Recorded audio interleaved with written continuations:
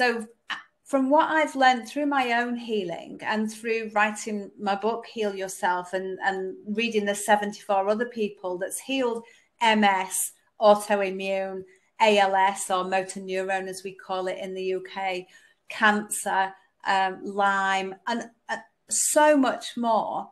Mm-hmm. What I've learned is that most of us address the physical. That's the easy one, if you like. That's the one that we think of when we're, we're thinking of healing. Mm-hmm. Then there's the mental health. And I didn't realize that until I was way into my healing with the mental health. And that involves calming the mind down with the use of gratitude and mindfulness and meditation. You can, um, if you can't sit quietly, which I couldn't because that voice was just forever in my mind um, you can do some guided meditations. There's plenty on the internet for as little or as long as you want. It's about calming the mind.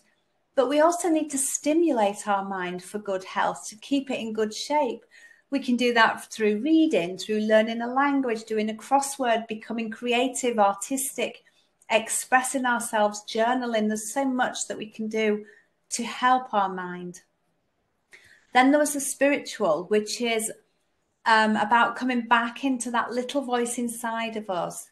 It's not necessarily about religion because not everybody's religious, but it can be.